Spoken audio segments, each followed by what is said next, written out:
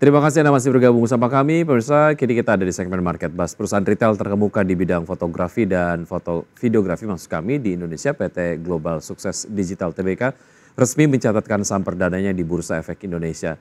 Dan perseroan akan mengalokasikan sekitar 27,4 persen dana IPO untuk belanja modal. PT Global Sukses Digital TBK resmi melantai di Bursa Efek Indonesia. Emiten berkode saham DOSS ini melepas sebanyak-banyaknya 450 juta lembar saham dengan harga perdana sebesar Rp135 per saham. Emiten di bidang fotografi dan videografi ini meraih dana segar sebesar 60,75 miliar rupiah.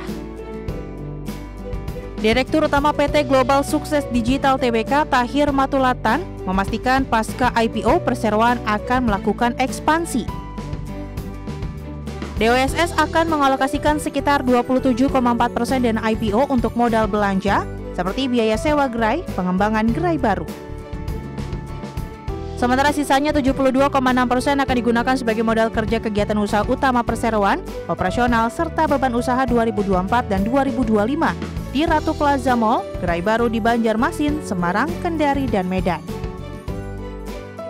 Dan modal tambahan ini kita mampu untuk melakukan inovasi atau pengembangan teknologi lebih cepat dan juga mempercepat untuk mencapai visi dan misi DOS menjadi ekosistem terdepan untuk industri fotografi dan videografi di Indonesia.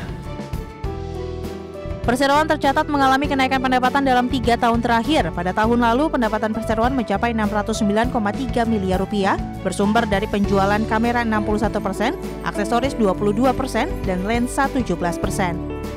Persero juga mencatatkan laba bersih tahun lalu sebesar 23,7 miliar rupiah.